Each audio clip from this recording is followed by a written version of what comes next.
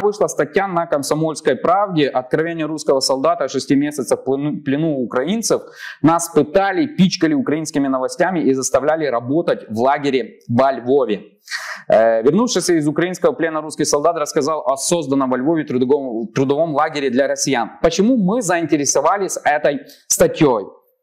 То есть э, э, россияне, русские журналисты, они пишут э, во Львове трудовом лагере, да, но что здесь интересно?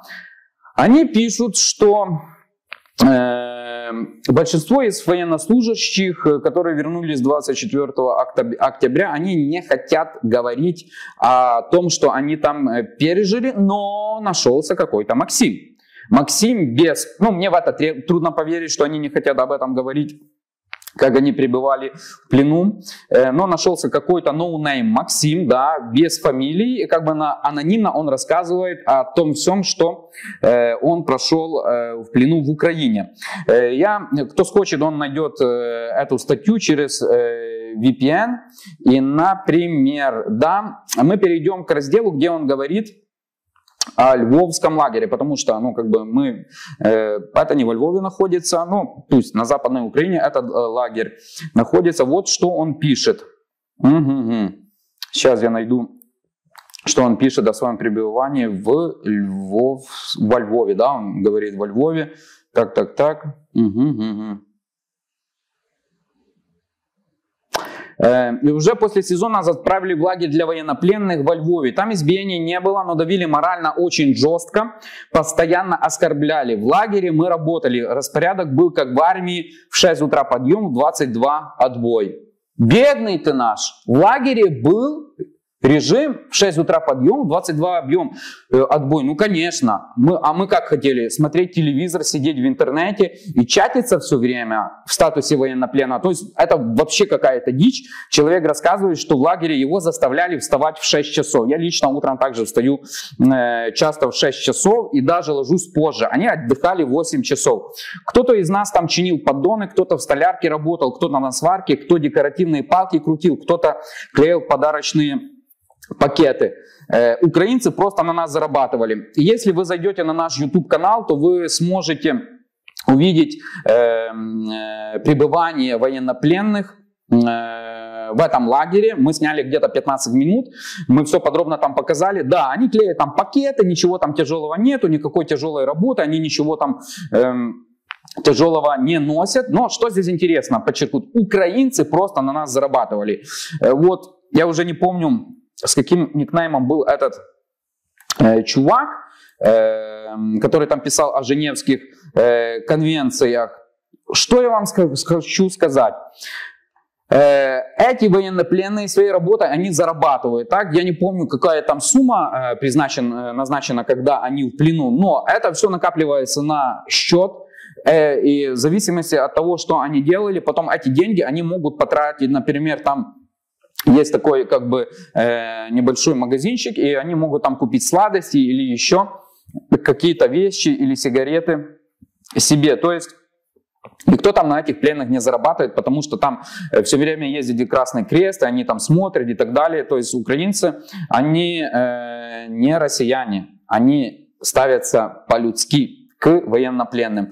Доступа в интернет там не было, но каждый вечер нам обязательно показывали украинские новости. Вот, вот это все мучения, которые были в лагере. Доступа в интернет там не было. Ну, конечно, это же, ну, нужно было провести российским военнопленным э, также интернет. Но почему мы также говорим о этой статье? Э, я еще раз подчеркну, что это человек no name, так, какой-то Максим, не говорится ни фамилия, ни ничего. На этой же странице в интернете мы нашли интересное видео, так, но уже с реальным э, российским э, солдатом. Это даже не солдат, но он у нас был на интервью. Это Илья Черноусов, это э, москвич. Если вы припоминаете его интервью, он такой идейный и э, шел в Украину как бы возвращать исторические территории. Он там говорит о захвате Одессы э, и так далее. Он не кадровый военный, он записался добровольцем. У него была более-менее нормальная зарплата там в Москве. Но вот этот русский империализм и русский дух у него бурлил, и он пошел, пошел воевать в Украину. Давайте послушаем, что тогда говорил Илья Черноусов. Я так думаю, что мы хотели захватить Харьков, Харьковскую область. Украину? Ну, часть Украины. Не, ну заходили с разных сторон, ты это тоже знаешь, да? Ну, то есть Украину хотели взять. Ну, я так думаю, что часть Украины хотели взять точно. Вот, честно, напомни мне. Илья. Илья, первый нормальный русский, который говорит, да, хотели захватить Украину, честно говорю. Ну. Да, а для чего вот русским Украина? Ну, я так, ну, это мое мнение. Mm-hmm. Так, да, все твое мнение. Не Путин, не, то есть я не принимал решения об этом. Я, я думаю, что потому что исторически это было частью Российской империи, и, наверное, мы здесь все очень похожи. Ну, все. Первое время, где я ну, был в плену, это Днепропетровск. Там, в принципе, я бы не сказал, что мы очень разные по менталитету. Например? Ну, мне казалось, что такие же русские люди со мной общаются. Я вы тоже похожи на...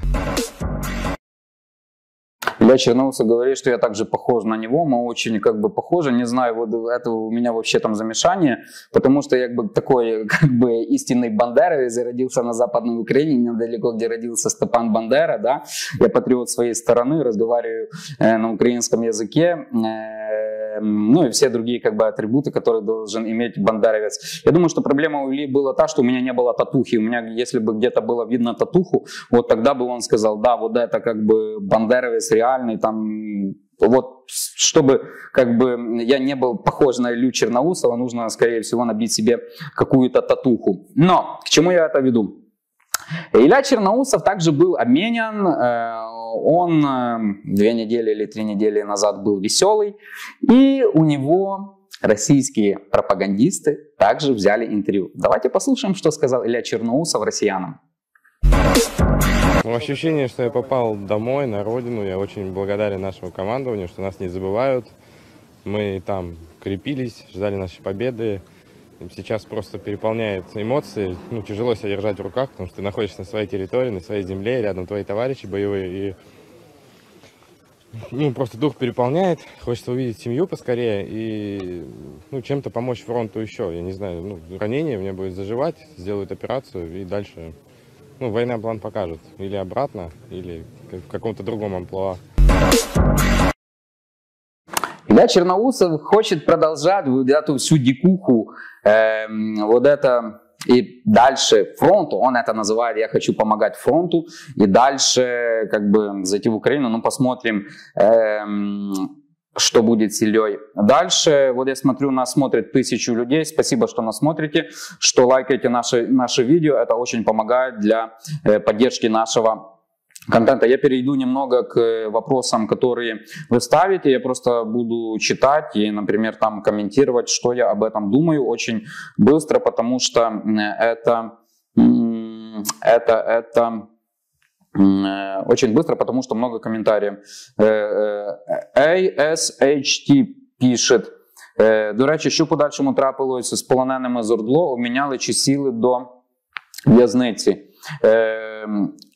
Военнопленных из Ордло, это территория, которая не под контролем Украины, и их также обменивают. Я их спрашивал, кстати, хотят ли они остаться в Украине, понести, э, ну, то есть, э, какую-то э, кару из этого, э, из того всего, что они сделали, никто не хочет, все хотят возвращаться в Донецк и в Луганск, откуда э, они э, родом. Э, Валентина Казора пише, дякую, Любомир, за вашу роботу, дуже цікаве інтерв'ю, жодного випуску не пропускаю. Бажаю вам натхнення. Дякую також вам, що нас дивитеся і що нас підтримуєте. підтримуєте. Маргарита Заморина, спасибо большое за вашу работу. Скажите, пожалуйста, смогли бы вы взять после вашей победы интервью у Путина, чтобы спросить, раскаивается ли он или побрезговал бы.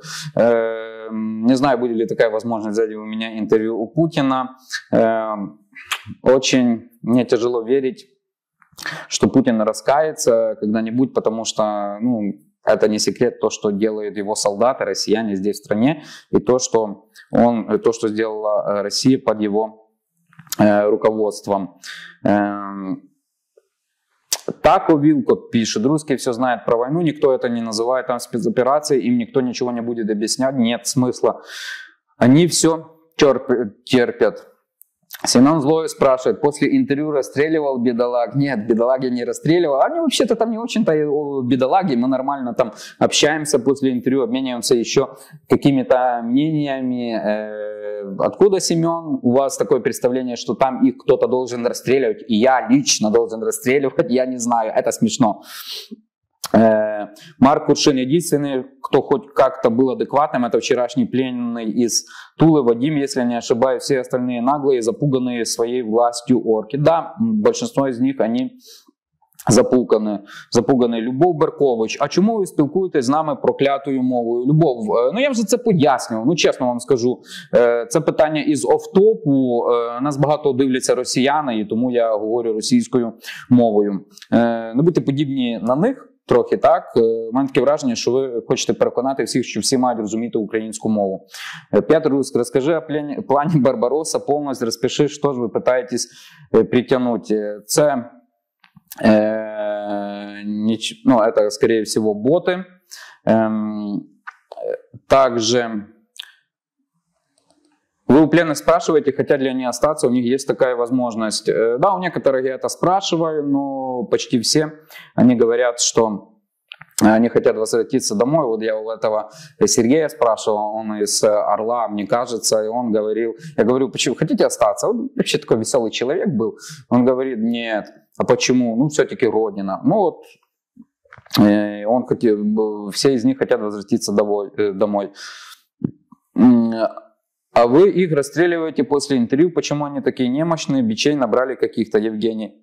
Пишет, ну, извините, если э, они выглядят как бычи, то это бычи российской армии. Это не моя вина, да, какие были, у таких я и беру интервью. Это ваши родные бычи, которые попали э, в э, армию РФ.